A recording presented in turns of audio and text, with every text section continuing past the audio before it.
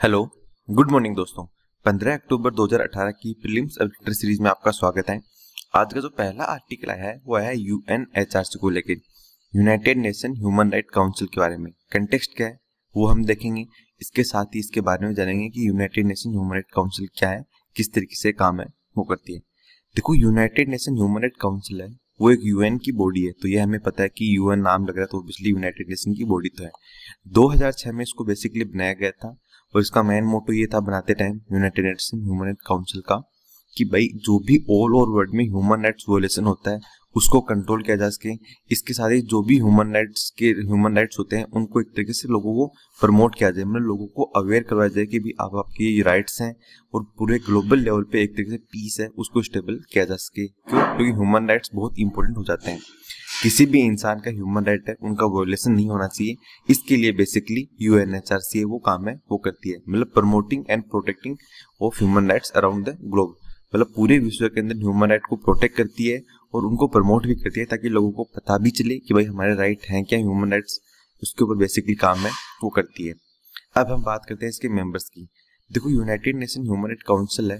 इस काउंसिल में टोटल जो मेंबर होते हैं, सदस्य, वो होते हैं फोर्टी सेवन सैतालीस सदस्य होते हैं, जो कि यूनाइटेड नेशन जनरल असेंबली जो कि यूएन का एक मेन ऑर्गन है, उससे बेसिकली इलेक्ट हो गए जाते हैं हर तीन साल के लिए। मतलब United Nation Human Right Council के सदस्य हैं, उनका कार्यकाल तीन साल होता है, वो होता है। तो ये चीज़ हमें ध्यान में रखनी है, कहाँ से इलेक्ट होते हैं? यूनाइटेड नेशन जनरल असेंबली के जो मेंबर्स होते हैं, उनमें से हर तीन साल में इलेक्ट हो किए जाते हैं। तो अभी कंटेक्स्ट ये आया है कि भाई इस बार जो मेंबर इलेक्ट हुए हैं, उसमें से भारत के जो मेंबर हैं, वो दोबारा इलेक्ट हो गए हैं। मतलब भारत के जो पर्सन हैं, उनको दोबारा इसमें इलेक्ट है, वो किया गया है? तो उसके बारे में थोड़ा देख लेते हैं। देखो, जो भारत के मेंबर इलेक्ट हुए हैं, वो बेसिकली 2011 से 14 के टाइम पे भी भारत का पर्सन है, वो इलेक्ट हुआ था। और 2014 से 17 के बीच में भी भारत का मेंबर है, वो इलेक्ट हुआ था। और 2000 अभी देखा जाए तो एक तरीके से मतलब आगे के जो टाइम पीरियड है, इसमें भी हमारा मेंबर है, वो इलेक्ट है, वो किए गया है। तो ये थोड़ा हमें ध्यान जो अभी रिसेंटली वोटिंग हुई थी, इसमें से देखो टोटल 18 पर्सन को इलेक्ट किया गया था। मतलब 18 सदस्यों की इस बार एक तरीके से सिलेक्शन कमेटी बैठाई गई थी और उनका वोटिंग है, वो हुआ था। सीक्रेट बैलेट की हेल्प वोटिंग हुआ और उसमें से भारत के पर्सन है उनको दोबारा इलेक्ट है, वो किया गया है। और इसका जो हेडक्वार्टर है United Nation Human Right Council का, वो जिनेवा में है। तो ये चीज़ हमें ध्यान में रखनी है। कि भाई क्या इंपोर्टेंट है? तो मतलब एक तो देखो यूपीएससी ऐसे पूछ सकती है कि इंडिया के जो पर्सन हैं, वो इसके पहली बार इलेक्ट हुए हैं तो ऐसा नहीं है। तीसरी बार इलेक्ट हो किए गए 2011 से 14 के बीच में भी इंडिया के पर्सन थे और 14 से 17 के बीच में भी और अभी भी नए पर्सन से इंडिया के, वो इलेक्ट यहाँ पे किए गए हैं। ये ध्यान रखना है कि कार्यकाल तीन साल का होता है और जो पर्सन या सदस्य इलेक्ट किए जाते हैं, वो basically United Nation General Assembly के सदस्यों में से ही इलेक्ट है, वो किए जाते हैं। सीक्रेट बैलेट वोटिंग की हेल्प से। तो ये दो चार फैक्ट्स वो हमने यहाँ पे देख लिए। अब अहम बात ये है कि United Nation Human Right Council है, वो देखो एटलीस्ट इसके तो सदस्य हैं सैंतालीस सदस्य हैं, ये साल में कम से कम तीन मीटिंग आयोजित करते हैं। और इन तीन मीटिंगों में ह्यूमन राइट्स के लिए एक तरीके से आप बोल सकते हो कि बहस होती है मतलब काफ़ी चर्चाएँ वगैरह की जाती हैं। और अहम बात क्या है कि फिर इसमें जो भी रिजोल्यूशन आते हैं, वो नॉन बाइंडिंग होते हैं। तो ये चीज़ हमें ध्यान में रखनी है कि United Nation Human Right Council के जो भी डिसीज़न वगैरह होते हैं, वो नॉन बाइंडिंग है। बाइंडिंग नहीं है किसी भी कंट्री पे। तो ये फैक्ट हमें ध्यान में रखते हुए आगे चलना है। अब हम देखते हैं नेक्स्ट आर्टिकल को लेकर नेक्स्ट जो आर्टिकल है, वो आया है डी आर रिपोर्ट के बारे में। मतलब कि United Nation International Strategy for Disaster Reduction को लेके रिपोर्ट है, वो पब्लिश की गई है। बेसिकली जो रिपोर्ट है, उसका नाम है economic losses poverty and disaster 1998 to 2017 अब है क्या इस रिपोर्ट में? वो देखते हैं। देखो, ये जो रिपोर्ट है ये क्लाइमेट रिलेटेड डिजास्टर को शो है, वो करती है।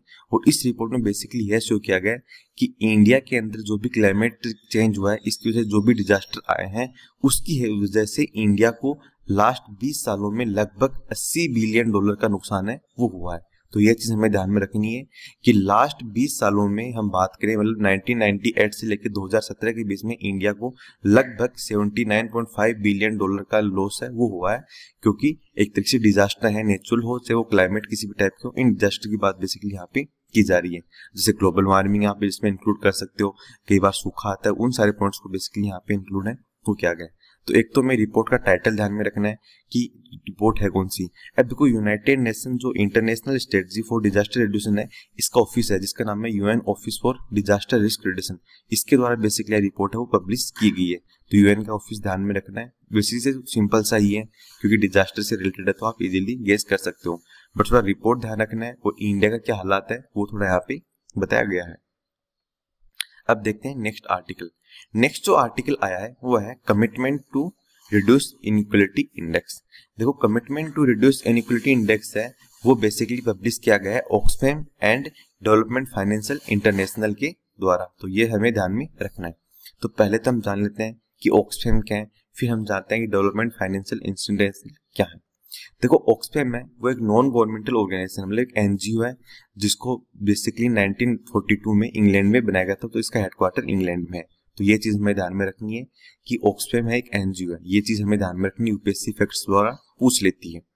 और बेसिकली ऑक्सफेम है, वो डिजास्टर हुआ पोवर्टी हुआ हंगर हुआ, इन सब के लिए काम करता है। रिपोर्ट्स वगैरह तैयार करना है डाटा वगैरह तैयार करना लोगों को अवेयर करना ये सारे काम इसके द्वारा किए हैं, वो किए जाते हैं भलाई के लिए। और अब हम बात करें डेवलपमेंट फाइनेंशियल इंटरनेशनल की तो यह एक not for profit economic research group है। जिसमें काफ़ी सारे छोटे छोटे ग्रुप्स हैं, वो मिले हुए मतलब छोटे छोटे एक तरीके से आप बोल सकते हो कि छोटे छोटे पार्ट्स हैं इसके, उनके मिला के बेसिकली एक ग्रुप है, वो बनाए गए ये जो डेवलपमेंट फाइनेंशियल इंटरनेशनल है, ये बेसिकली इकोनॉमिक इश्यूज़ हैं, उनके ऊपर फोकस करता है कि भाई किस कंट्री में इकोनॉमिक इश्यूज़ कैसे चल रहे हैं, किस तरीके से उनमें निपटना है, उन सारे कामों पर बेसिकली इसके द्वारा फोकस है, वो किया जाता है। तो अभी रिसेंटली इन दोनों ही इंस्टीट्यूट ने बेसिकली एक रिपोर्ट है, एक इंडेक्स है, वो पब्लिश किया जिसका नाम है Commitment to Reduce Inequality Index इसमें देखो, इस चीज़ पे फोकस किया गया कि भाई असमानता मतलब अनइक्वलिटी है, उसको कम करने के लिए कौन सी कंट्री ने किस लेवल पे काम किया है और उसका क्या रिज़ल्ट देखने को मिला है।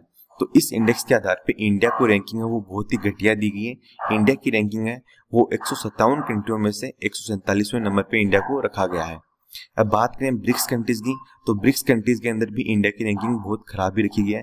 ब्राज़ील की रैंकिंग है, वो थर्टी नाइन बात करें हम रशिया की रैंकिंग है, वो है फिफ्टी और चाइना की रैंकिंग है, वो यहाँ पे दी गई है एट्टी वन और साउथ अफ्रीका की बात हम यहाँ पे करें तो वो रखा गया है ऑल ओवर यहाँ पे सिक्स नंबर पे. सॉरी साउथ एशियन जो कंट्रीज़ हैं, जिनमें बेसिकली हम सार्क के नाम जानते हैं, उनमें बेसिकली इंडिया छठे नंबर पे है. मतलब इंडिया से देखा जाए तो रैंकिंग बहुत ही खराब रखी गई है, क्योंकि इंडिया ने ढंग से काम नहीं किए हैं, कि यहाँ पे बेसिकली थोड़ा डाटा में शो किया गया है. तो एक तो हमें यहाँ पे ध्यान रखना है कि Commitment to Reduce Inequality Index है वो पब्लिश कौन करता है? Oxfam and Development Financial International Oxfam है, वो एक एनजीओ है, जो कि यूके बेस्ड है। और डेवलपमेंट फाइनेंशियल इंटरनेशनल है। वो एक not for profit research organisation है, जो कि इकोनॉमिक इश्यूज़ पे फोकस है। वो करता है।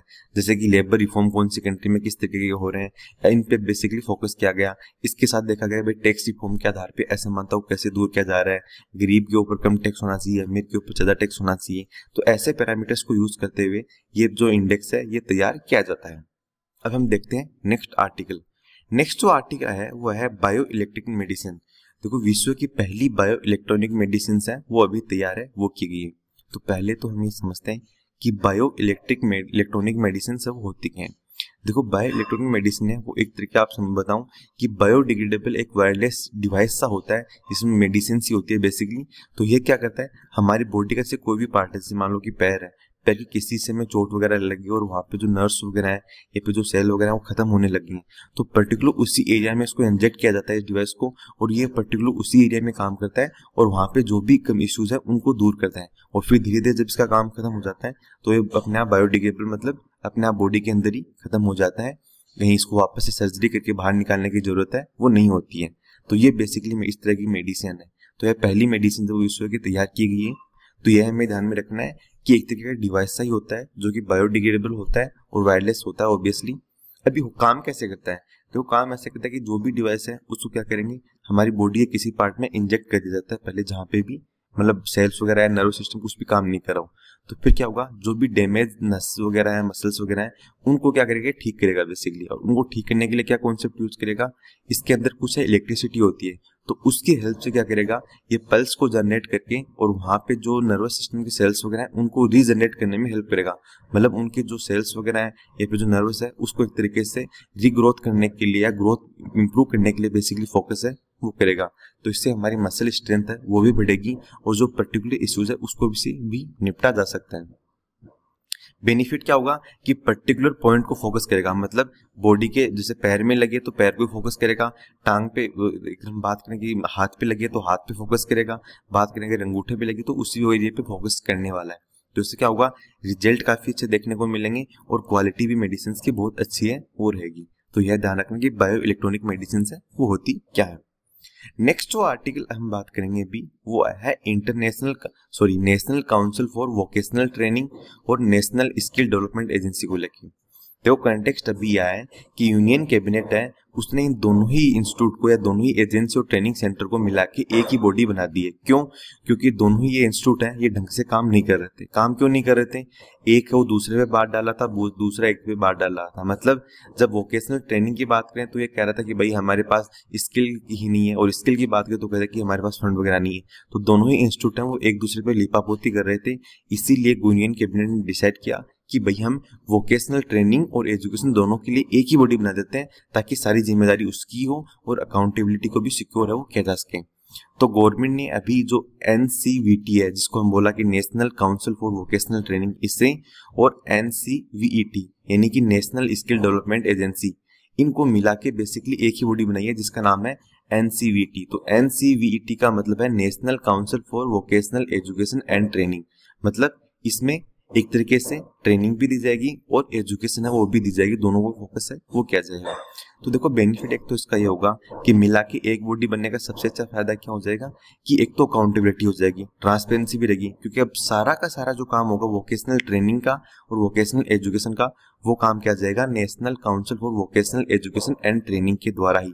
इसके साथ ही कोई भी जैसे अदर इंस्टीट्यूट है जो कि वोकेशनल ट्रेनिंग वगैरह प्रोवाइड करवा रहा है तो उसको भी बेसिकली सर्टिफिकेट वगैरह देना है, उसके लिए रूल रेगुलेशन डिसाइड करने हैं, इस तरह की गाइडलाइंस वगैरह हो गई रेगुलेशन वगैरह हो गए ये सारे काम एनसीवीईटी के द्वारा ही किए जाएँगे। अब देखो, अहम बात हम करें कि सारी पावर अगर एक ही जगह जाएँगी तो क्या क्वालिटी को इंश्योर किया जा सकता है और अकाउंटेबिलिटी ठहराया जा सकता है कि भाई ये काम आपका था और आपने क्यों नहीं किया? और अहम बात क्या है देखो, हमारे देश में आपको पता है कि डेमोग्राफिक डिविडेंड काफ़ी अच्छा है बट दिक्कत क्या आ रही है कि जो भी इंडस्ट्रीज़ हैं, इनकी डिमांड के अकॉर्डिंग जो एजुकेशन है, वो नहीं दी जा रही है और ट्रेनिंग भी नहीं दी जा रही है और स्किल भी क्रिएट नहीं की जा रही है। तो अभी क्या होगा गवर्नमेंट ये प्लान कर रही है कि सेक्टर जो स्किल काउंसिल है, उनके तौर पर बेसिकली काम किया जाए। क्योंकि देखो सेक्टर स्किल जो काउंसिल है, ये क्या करती है?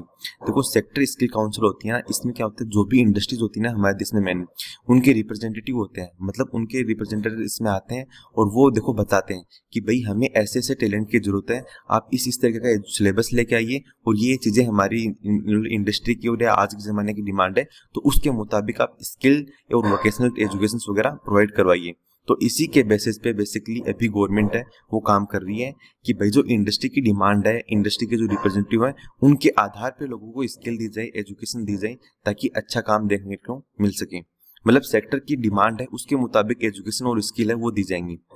तो ये गवर्नमेंट का अभी नया प्लान है, और इसके लिए गवर्नमेंट ने अभी दोनों ही जो एजेंसी और ट्रेनिंग सेंटर थे, इनको मर्ज करके एक ही एजेंसी बना दी है। तो यह हमें ध्यान में रखनी है। तो ये तो थी आज की हमारी डिस्कशन अब एक बार थोड़ा हम जल्दी से रिवाइज कर लेते हैं। सबसे पहले हमने United Nation Human Right Council के बारे में जाना, जो कि यूएन की बॉडी है, जिसे 2006 में बेसिकली बनाया गया था। इसके साथ ही हमने यूएन आईएसडीआई रिपोर्ट के बारे में जाना, कि अभी रिसेंटली जो क्लाइमेट चेंज की वजह से जो भी डिजास्टर हैं, उसकी वजह से इंडिया को लगभग देखा जाए तो लास्ट 20 सालों में 80 बिलियन डॉलर का नुकसान है, वो हुआ है। इसके साथ ही हमने जाना कि Commitment to Reduce Inequality Index है वो पब्लिश किया गया है Oxfam and Development Financial International Institute के द्वारा। इसमें इंडिया की रैंकिंग बहुत ही खराब रही है। इसके साथ ही हमने जाना कि बायो इलेक्ट्रॉनिक मेडिसिन से वो पहली मेडिसिन तैयार की गई है, जो कि पर्टिकुलर बॉडी के पार्ट को ठीक है, वो करने में काफ़ी हेल्पफुल है, वो रहेगी। इसके साथ ही हमने जाना कि गवर्नमेंट ने दो इंस्टीट्यूट को मिला के National Council for Vocational Education and Training Institute बनाया है, जिसका मेन मोटो ये है कि एजुकेशन और ट्रेनिंग दोनों को इंश्योर है, वो किया जा सके। तो ये तो थी आज की हमारी डिस्कशन फ़िलहाल की डिस्कशन में इतना ही है। Thank you thank you much for discussion